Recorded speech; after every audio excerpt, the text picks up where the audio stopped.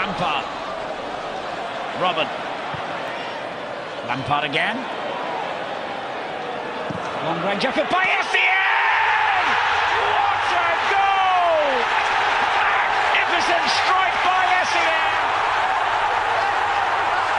It's a stunning, stunning goal. It just bends away from Lehmann. Oh, can you believe it? What a stunning goal from Matty Taylor! Well, I mean, they don't come much better than this, and we have seen him do this before. I think away at Sunderland last season.